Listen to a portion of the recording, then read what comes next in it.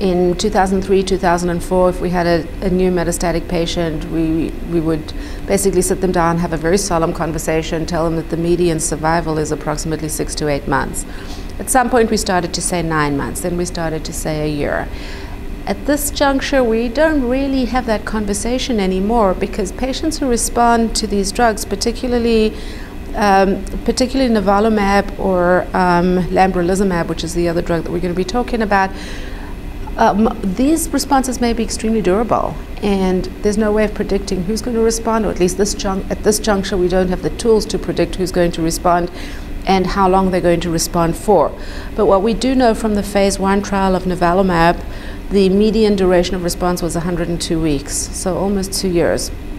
And we have patients who, who, who've been in response for quite a bit longer than that. We don't know yet if, the, if they're going to respond when we retreat them or how many are going to respond when they're retreated with the same drug.